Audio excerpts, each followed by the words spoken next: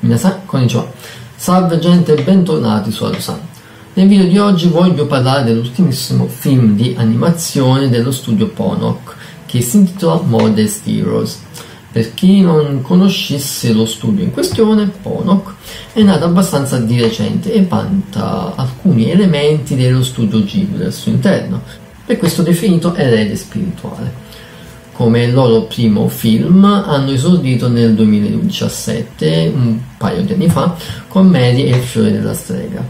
E nel 2018 hanno rilasciato appunto Modest Heroes, eh, reso disponibile in Italia però solo di recente sulla piattaforma Netflix, per questo ho deciso di parlarne adesso. Il film è prodotto da Yoshiaki Nishimura ed è composto da tre storie, realizzate da tre registi diversi e fa parte del primo volume di un'antologia di corti.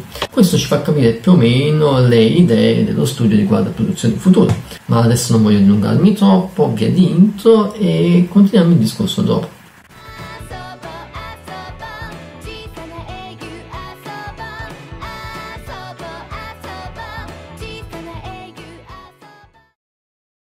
Modest Heroes è l'ultimo progetto dello studio Ponok ed è formato da tre corti realizzati da registi diversi. Il tema del film è quello della vita, quella di tutti i giorni, portata avanti da questi eroi modesti, con le loro piccole ma grandi imprese della vita quotidiana. Quindi con loro non vi aspettate i classici eroi in costume che tanto invadono le sale cinematografiche di recente, forse anche fin troppo, quelli che salvano il mondo o che la gente grida il nome per essere aiutati, niente del genere. Si tratta di persone alle prese con ostacoli giornalieri, per questo eroi modesti. È da questa idea di vita quotidiana che i registi hanno iniziato a sperimentare elementi per i propri corti, della singola durata di 15 minuti. Nel primo corto, diretto da Hiromasa Yonebayashi, abbiamo un fantasy con due fratelli, Canino e Canini, due ragazzini che fanno parte di una tribù di piccoli umani armati di chele di granchio. Il cani nel loro nome proviene proprio dalla parola granchio in giapponese. Il fatto che siano piccoli un po' rimanda ad Arietti, un'opera dello studio Ghibli. Loro vivono in uno splendido paradiso dentro un fiume insieme a loro padre, che un giorno finisce per essere spazzato via da una forte corrente. E loro sarà il compito di ritrovare il padre e portarlo in salvo. In questo corso il doppiaggio è ridotto al minimo, il tutto si riduce a semplici versi fatti dai personaggi, come se fosse il loro linguaggio, e a farla da protagonista sono gli scenari naturali molto evocativi, splendidi alberi e corsi d'acqua, e in questi classici disegni in 2D si introducono anche elementi in computer grafica.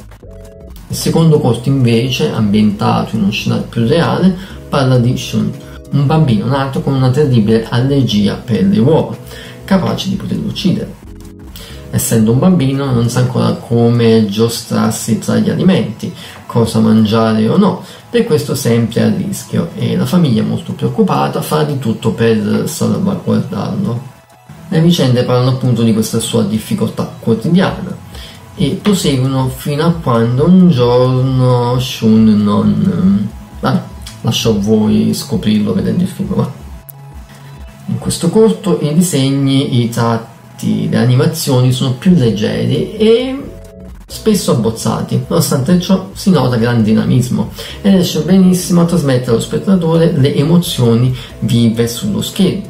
Rabbia, paura, tristezza, le sensazioni si sentono per bene e tutto questo anche merito di una colonna sonora di buon accompagnamento.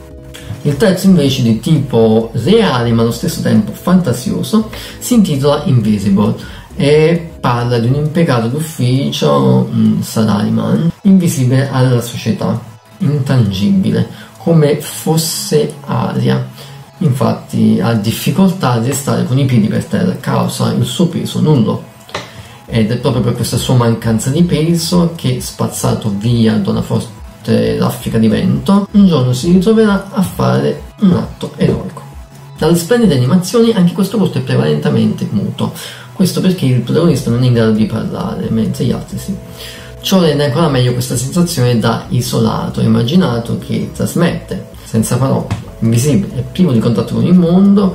In tutto questo c'è e non c'è, sullo schermo le emozioni sono l'unica cosa a non mancare. Ci doveva essere anche un quarto corto, ma poiché il regista è deceduto durante la produzione, alla fine sono stati realizzati solo tre, un vero peccato. Ciò porta anche il film a durare meno di quanto previsto inizialmente. In questi tre corti lo studio Pollock mostra indubbiamente richiami al passato, ma dominante è la loro voglia di sperimentare, di dar vita alla loro creatività, proponendo queste storie molto particolari brevi ma ricche di emozioni e diverse tra di loro, in un formato, quello del corto appunto, che è sempre meno presente. Sicuramente un progetto fuori dagli schemi, ambizioso, che fa tanto bene allo scenario attuale. Ora la curiosità si sposta tutto sul secondo volume di questa antologia, che si sa ancora ben poco. Tocca aspettare se proprio devo fare una critica è il fatto che il prossimo film sarà ugualmente di un'oretta, no? Voglio vedere lo studio Pollock meglio all'opera in qualcosa di più grande. Per questo, per questo mi sta bene il secondo volume, ma magari se accompagnato da un film un po' più di largo respiro. Ma qui entra in gioco più la mia ingordigia, lo ammetto. Bene ragazzi, anche questo video è terminato, mi raccomando supportate il canale, ci conto, e ci vediamo al prossimo video, sempre qui su Allo Matane.